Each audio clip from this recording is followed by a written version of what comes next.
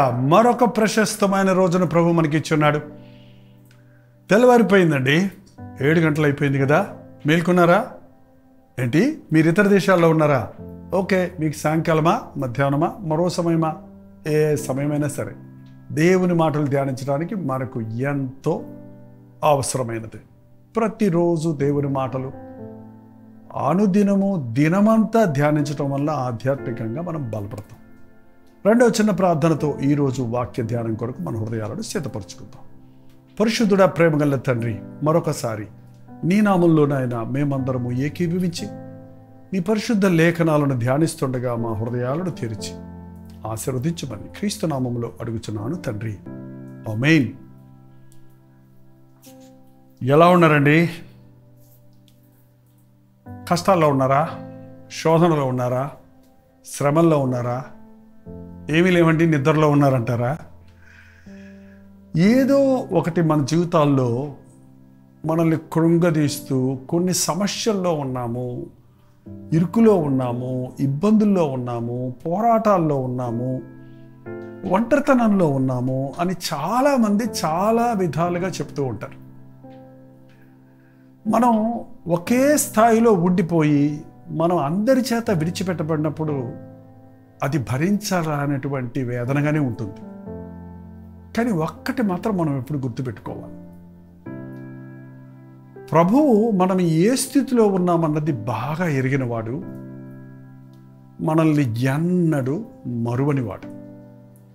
ఏ స్థితిగతులు గుండా మనం వెళ్తున్నప్పటికీ ఏసయ్య మనల్ని ప్రేమిస్తున్నాడని మనం విశ్వసిస్తే ఆ పరిస్థితుల్లో ప్రభువు మనకు ఏం నేర్పిస్తున్నాడు ఏ ఎలా పరిశోధిస్తున్నాడు అన్నది గుర్తించగలిగితే అద్భుతమైన సాక్షులుగా మనం మారుతాం.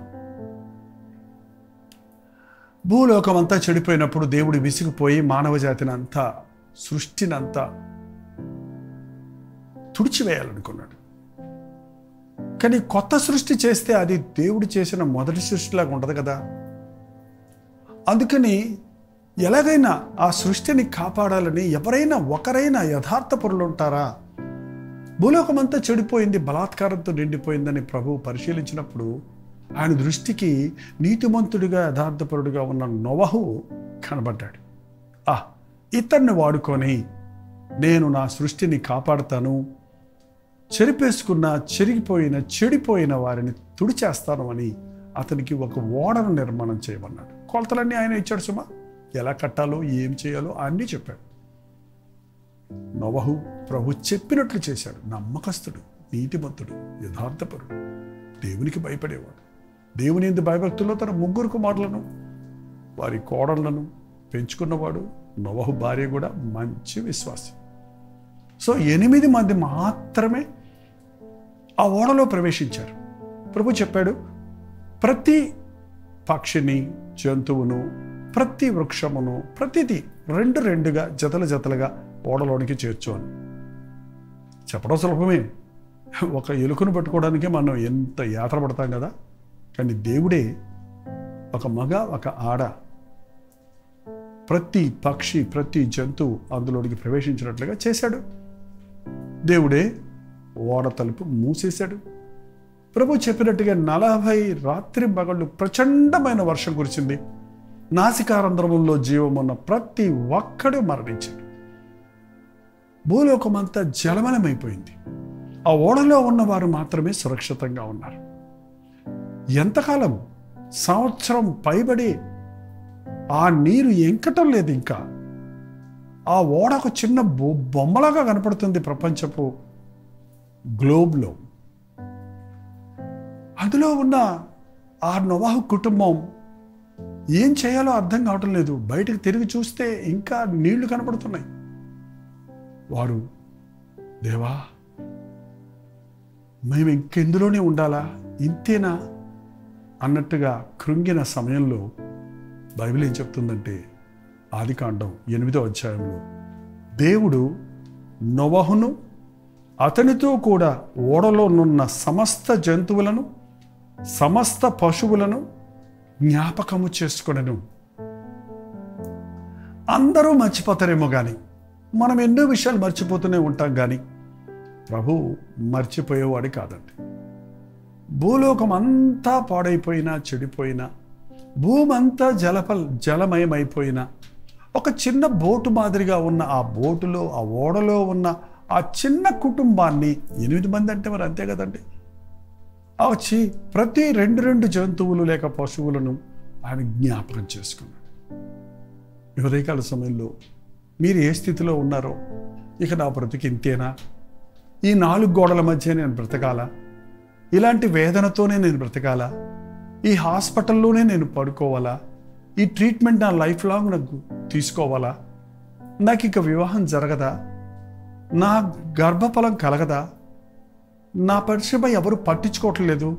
నాకు ఇక ఉద్యోగం దొరకదా అని కృంగిన సమయాల్లో ఉన్నారేమో విసిగిపోయి ఉన్నారేమో కృంగిపోయి ఉన్నారేమో ఇక బయటపడటం అసాధ్యమని ఆనాడు నోవాహు తన కుటుంబీకులు అనుకున్నట్టు అనుకుంటూ ఉన్నారేమో దేవుడు ఈరోజు మిమ్మల్ని జ్ఞాపకం చేసుకుంటున్నాడు. నీ బాధను నీ శ్రమను నీ ఆవేదను నీ గందరగోళం నీ పరిస్థితిని జ్ఞాపకం చేసుకుంటున్నాడు. మనం ఏదన్నా జ్ఞాపకం చేసుకుంటే అయ్యో అని జాలిపడతాం మనం ఇతరుల విష్ బాధలు కష్టాలు జ్ఞాపకం చేసుకున్నప్పటికీ అబ్బా నాకొద్దురు ఆయన అటువంటి శ్రమ అని తప్పించుకోవడానికి చూస్తాం. కానీ ప్రభు ఒక్కసారి జ్ఞాపకం చేసుకున్నాడంటే ఆయన ఏం చేయాలో అది చేస్తాడండి చూసి వెళ్ళిపోయేవాడు కాదు ఆయన. చూసి ఊరుకునేవాడు కాదు ఆయన. నీ ప్రార్థన విని విననట్టు ఉండేవాడు కాదు ఆయన. నీ స్థితి గమనించి ఒట్టిగా జాలిపడి వెళ్ళిపోయేవాడు కాదు కానీ నీకు విడుదల మార్గాన్ని తయారు చేస్తాడు. ఏం చేశాడు? నోవహును అతనితో ఉన్నవారిని జ్ఞాపకం చేసుకుని ఏం చేశాడు అంటే దేవుడు భూమి మీద వాయువు విసురునట్టు చేయటం వలన నీళ్ళు తగ్గిపోయాను. ఆ నీళ్ళల్లో మునిగి ఉన్న నీళ్ళల్లో మునుగుతూ ఉంది ఆ ఓడ తేలుతూ ఉంది లేకపోతే. ఇప్పుడు వాళ్ళు కిందకి దిగాలంటే ఆరిన నేల కావాలి. కాబట్టి ఏం చేశాడు ఆయన? వాయువు విసురునట్లుగా చేశాడు. గొప్ప గాలితో ఆ ఆ యొక్క వాయువుతో ఆ నీరు ఇంకిపోనట్లుగా ఆ నీరు తగ్గిపోనట్లుగా ఆయన క్రియ చేశాడు. ఎస్ నీ కష్టాలు తీరినట్లుగా ఆయన నీకు నడి సముద్రంలో కూడా మార్గాన్ని చూపించేవాడు. ఆ ఎర్ర సముద్రాన్ని రెండు పాయలు చేసి ఆవలికి దాటించిన ఆ ప్రభువు నీ బ్రతుకులో కూడా ముందుకు వెళితే గొయ్యి వెనక్కి వెళితే నుయ్యి.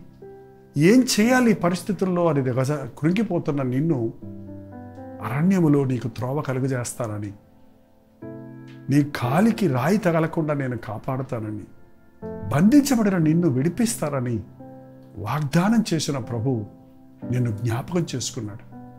ఇదిగో ఆయన కార్యం ప్రారంభమైంది. నీ జీవితంలో ఆ అద్భుతాన్ని చూస్తాం. ఖచ్చితంగా. ఆ వాయువు వలన నీరు ఇంకిపోయింది. దేవుడు వారిని బయటికి వెళ్ళమన్నారు. వారు బయటికి వచ్చారు. ఎంతో కాలం సంవత్సరం ఒక నెల చిల్లర దినాలు వారి మన్ అందులో రెండవ నెల ఇరవై ఏడవ దినమున భూమి ఎండి ఉండెను. ఒక సంవత్సరం రెండు నెల ఇరవై ఏడవ దినమున వారు బయటికి వచ్చారు. ఇంకా మేము బయటపడం ఇంకా ఆకాశాన్ని చూడం ఇంకా భూమి కనపడదు ఇక మాకు నిరీక్షణ లేదు అని కృంగిపోయిన వారిని దేవుడు జ్ఞాపకం చేసుకున్నప్పుడు మరలా వారికి నూతన సృష్టిని నూతన భూమిని నూతన ఆకాశమును కలుగు చేసి వారి వెలుపులకు తీసుకుని వచ్చినప్పుడు ఎంతగా వారు ఎగిరి గంతులు వేశారో ఆనందించారో కానీ నీ జీవితంలో నీ కష్టాలు కడతీర్చిన రోజు నీ శ్రమలలో నుంచి నువ్వు బయటపడిన రోజు నిన్ను జ్ఞాపకం చేసుకుని నిన్ను ముట్టి స్వస్థపరిచిన ఆ రోజు ఇప్పటికే ఎన్నో నీ జీవితంలో జరిగే ఉంటాయి. జ్ఞాపకం చేసుకోండి. ప్రభువుని స్థుతించండి వారు బయటకు వచ్చిన తర్వాత నిర్మానుషంగా ఉన్న లోకాన్ని చూసి ప్రభు నొచ్చుకున్నాడంట అయ్యయ్యో నేను చేసుకున్న సకల సృష్టిని పోయిందే ఈ చిన్న గుంపు మిగిలిందే అన్నట్టుగా ఆయన ఒక నిబంధన చేస్తున్నాడు వారితోటి. ఒకసారి చూడండి. తొమ్మిదో అధ్యాయం ఎనిమిది వచ్చిన చదువుతున్నాను. దేవుడు నోవాహును అతని కుమారులతో ఇదిగో నేను మీతోనూ మీ తదనంతరము మీ సంతానముతోనూ మీతో కూడనున్న ప్రతి జీవితోనూ పక్షులేమి పశువులేమి మీతో కూడా సమస్తమైన భూజంతువులేమి ఓడలో నుండి బయటకు వచ్చిన సమస్త భూజంతువులతో నా నిబంధన స్థిరపరచుకుంటున్నాను. నేను మీతో నిబంధనను స్థిరపరచుదును. సమస్త శరీరులు ప్రవాహముల వలె ప్రవాహ జలముల వలె ఇకను లయపరచబడరు. భూమిని నాశనము చేయుటకు ఇకను జలప్రళయము కలుగదని పలికెను. ఇంకెప్పుడు ఇలా చెయ్యను? ప్రజలందరినీ ఒక్కసారి తుడిచిపెట్టను. జంతువులను పశువులను పక్షులను సమస్తమును ఇలా నిర్మూలము చేయను. వర్ష జల ప్రళయము ద్వారా ఇక నేను ఎప్పుడు నాశనం చెయ్యను. ఇదిగో మీతో ఒట్టు పెట్టుకుంటున్నాను లేక నిబంధన చేస్తున్నాను. మీకు ఒక వాగ్దానం ఇస్తున్నానని ప్రభు చెప్పాడు పన్నెండవ వచనం కూడా. మరియు దేవుడు నాకును మీకును మీతో కూడిన సమస్త జ జీవరాశులకును మధ్య నేను తరతరములకును ఏర్పడుచుచున్న నిబంధన గుర్తు ఇదే. నా వెనక ఒక గుర్తు కనపడుతుంది చూస్తున్నారా? రైన్బో తెలుసు కదండి? రైన్బో దీన్ని మనం చిన్నప్పటి నుంచి నేర్చుకుంటూ ఉన్నాం. దీన్ని అందులో ఉన్న ఏడు రంగులు మనకు తెలుసు. వెబ్ యార్డ్ అనే ఒక షార్ట్ కట్లో మనకు ఆ మాట నేర్పిస్తున్నారు. Violet indigo blue green yellow orange red. అట్నుంచి వస్తే red orange yellow green blue indigo and violet. ఈ ఏడు రంగులుతో ఉన్న ధనస్సును ప్రభు ఆకాశంలో ఉంచి ఇది గుర్తు. వాన వెలిసిన తర్వాత ఇది వస్తుంటుంది చూడండి. నేను జ్ఞాపకం చేసుకున్నాను.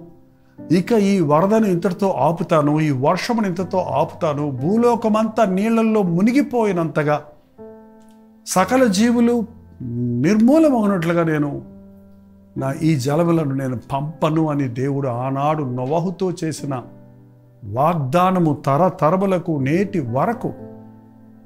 మరి ఎన్నడూ అక్కడక్కడ వరదలు నష్టములు కలుగుచున్నది ఉన్నప్పటికీ ఒకేసారి భూలోకం అంతా వరద బారిని లేక నీటి బారిని జల ప్రళయములతో మునిగిపోవటం అనేది జరగలేదు. ఇక నేను జరిపించను అని ప్రభు వాగ్దానం ఇచ్చాను మీ శత్రువులను మరెన్నడూ మీరు చూడరు అని ఆ రోజు ఇస్రాయేలులకు వాగ్దానం ఇచ్చినట్లు గత జీవితంలో గత దినములలో మీరు అనుభవించిన శ్రమలు వేదనలు ఇక మళ్ళీ మిమ్మల్ని వెంటాడవు అని ఈ రోజున దేవుడు మనకు వాగ్దానం ఇస్తున్నాడు. దానికి గుర్తుగా ఆయన ధనస్సు ఉంచాడు. ఆ ధనస్సులో ఉన్న ఏడు రంగులు యేసు ప్రభువును చూపిస్తూ ఉన్నాయి. ఇవాళ దేవుని కోపం మన మీద తొలగుతుందంటే అది యేసును చూచి మనల్ని క్షమిస్తున్నాడు. యేసు ప్రభు చెలువలో చేసిన యాగాన్ని చూసి ఇవాళ మానవునికి పాప పరిహారం లేకుండా పాప క్షమాపణ కలుగు చేయడానికి దేవుడు నిబంధనగా క్రీస్తును మనకు అనుగ్రహించి ఉన్నాడు. ఈ ఏడు రంగుల్లోనూ ఏసయ్య సుగుణగణాలను మనం చూడగలం. యేసు ప్రభు యొక్క ప్రత్యేకతను మనం గుర్తించగలం. ఎరుపు ఎప్పుడు కూడా విమోచనకు గుర్తు. ఆయన రక్తము చెందించి మనల్ని విమోచించాడు. ఆరెంజ్ అనేది బగబగ మండే మంటలో నుంచి వస్తుంది. అది తీర్పుకు గుర్తు. క్రీస్తు యేసునందున్న వారికి ఏ తీర్పు లేదు. మనకు రావాల్సిన తీర్పును శిక్షను ప్రభు భరించాడు కనుక మనకు క్షమాపణ ఇచ్చాడు. ఎల్లో అనేది ఎప్పుడు పరలోకానికి గుర్తు లేక దైవత్వానికి గుర్తు. ఆయన దేవుడై ఉండి మన కొరకు మానవుడిగా వచ్చి మనల్ని ఆయనతో పాటు ఆయన రాజ్యంలో ఉండేటట్టుగా ఆ బంగారు పట్టణానికి మనల్ని సిద్ధపరుస్తున్నాడు అన్నది ప్రభు ద్వారానే సాధ్యం. ఆ తర్వాత బ్లూ అనేది అది నిత్యత్వానికి గుర్తు. ఆకాశం బ్లూ రంగు నెల నీలి రంగులో ఉంటుంది. అది పరలోక రాజ్యమునకు సంబంధించింది. మనల్ని పరలోక రాజ్య వారసులుగా చేయడానికి ప్రభు అయిన యేసుక్రీస్తుని ఈ లోకంలోనికి పంపించాడు. అలాగే గ్రీన్ అనేది మనకి ఈ లోకంలో ఉన్న గ్రీనరీస్ చూస్తుంటాం చూసారా? ఈ లోకంలో ఉన్న సమృద్ధిని ఫలమును ఫలితమును చూపిస్తూ ఉంది. దేవుణ్ణి క్రీస్తు ద్వారా మనం ఫలించాలని దీవించబడాలని మనకు నియమించాడు. ఆ యొక్క గ్రీన్ లోకంలో మనం చేయనదంతా సఫలవరట్లుగా దీవించే క్రీస్తుకు గుర్తు. అలాగే ఆయన యొక్క ఇండిగో ఇండిగో అనే కలర్ ఎప్పుడు కూడా శ్రమకు గుర్తండి. యేసుక్రీస్తు మన కొరకు శ్రమను అనుభవించాడు. ఆయన ఆ ఇండిగో అనేది మనం ఊదారంగం తెలుగులో. ఆ ఊదారంగు వస్త్రాన్ని ఆయనకు చుట్టి సులువకు నడిపించాడు చూసారా ఆయన పొందిన శ్రమలు ఆయన పొందిన దెబ్బల ద్వారా ఈరోజు మనకు స్వస్థత ఉన్నదన్నది ఈ యొక్క ఇండిగో కలర్ చూస్తున్నాం. అలాగే చివరిగా ఆయన యొక్క వైలెట్ కలర్ రాయల్టీకి గుర్తు. యేసుక్రీస్తు నీవు నీ నీవు రాజువా అని పిలాత్ అడిగినప్పుడు నేను రాజునే కానీ నా రాజ్యం ఈ లోక సంబంధమైంది కాదని చెప్పాడు. ఇవాళ యేసుక్రీస్తులో పరిపూర్ణమైనటువంటి విమోచన ఉంది. మనకు కావలసిన పాపక్షమాపణ ఇస్తున్నాడు. మన తీర్పును ఆయన భరించాడు. మనల్ని ఆయన రాజ్య వారసుడిగా చేసుకోవడానికి మనల్ని నిరంతరము జీవింపచేయడానికి మనల్ని ఈ లోకములో ఫలింపజేయడానికి ఆయన పొందిన శ్రమల ద్వారా మనం స్వస్థత పొందడానికి రాజులైన యాజక సమూహంలో చేరి ఆయన రాజ్య వారసులుగా ఉండడానికి ప్రభువును మనకు ఆగ్రహించి ఉన్నాడు ధ్యానించండి. యేసులోని గొప్పతనాన్ని గుర్తించండి. ఈరోజు మిమ్మల్ని ప్రభు జ్ఞాపకం చేసుకుంటున్నాడు. క్రీస్తునందు మీరు నూతన సృష్టిగా మార్చబడాలని క్రీస్తునందు ఉన్న వారికి ఏ శిక్షా విధి లేకుండా మిమ్మల్ని క్షమించి మీరున్న ఊబిలో నుండి మీరున్న సమస్యల్లో నుండి మీరున్న చిక్కుల్లో నుంచి ఈరోజు ప్రభు జ్ఞాపకం చేసుకొని మనకు విడుదలనిస్తున్నాడు ప్రభువుని స్థుతిద్దాం ఆయన సాక్షులుగా జీవిద్దాం. క్రీస్తు ద్వారా మనం నిబంధన చేయబడిన జడలం క్రీస్తు ద్వారా మనం ఆయన రాజ్య వారసులో ఉన్నట్లుగా దేవుడు తండ్రి అయిన ప్రభు మన కొరకు సకలమైన ఏర్పాట్లు చేసి ఉన్నాడు. ప్రభువును గుర్తు చేసుకుందాం. ఆయన నిబంధనను గుర్తు పెట్టుకుందాం లేక నమ్ముదాం ప్రభువుకు మనల్ని మనం అప్పగించుకుందాం. ప్రార్థన. పరిశుద్ధుడ ప్రేమగల తండ్రి ఈ సమయంలో ఎవరెవరు ఎక్కడెక్కడి నుంచి ఈ మాటలు వింటున్నారు ఏ స్థితిలో ఉండి ఏ బాధలో ఉండి ఏ శ్రమలో ఉండి ఏ వ్యాధిలో ఉండి ఏ పడకలో ఉండి ఏ పరిస్థితుల్లో ఉండి నన్ను దేవుడు మర్చిపోయాడు అనే స్థితిలో ఉన్నారు వారితో నీవు మాట్లాడినందుకు వందనాలయ్యా. మమ్మల్ని జ్ఞాపకము చేసుకునే దేవుడవు.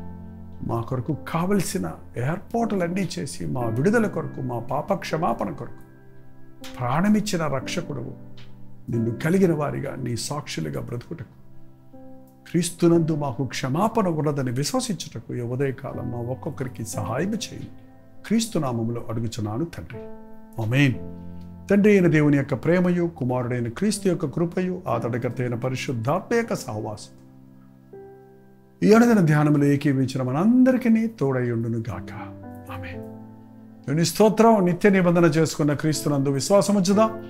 మీ ప్రార్థన అవసరతలు భారాలు సమస్యలు ఉంటాయి మీకోసం మేము ప్రార్థన చేయాలంటే nine five four zeros four one seven వరకు టెక్స్ట్ లేక వాయిస్ మెసేజ్ ద్వారా వాట్సాప్ చేయండి. మీ పక్షంలో ప్రార్థించడానికి సిద్ధంగా ఉన్నాం. మీరు ప్రార్థించండి. దేవుడు అద్భుతమైన కార్యాలను మీ జీవితాల్లో అనుభవించాలి ప్రభుత్వం అయితే మధ్యాహ్నం మూడు గంటలకి మళ్ళీ రాత్రి తొమ్మిది గంటలకి మళ్ళీ కలుసుకుందాం. అంతవరకు దేవుని మహాకృప మీకు తోడైనది కాక ఉదయకాల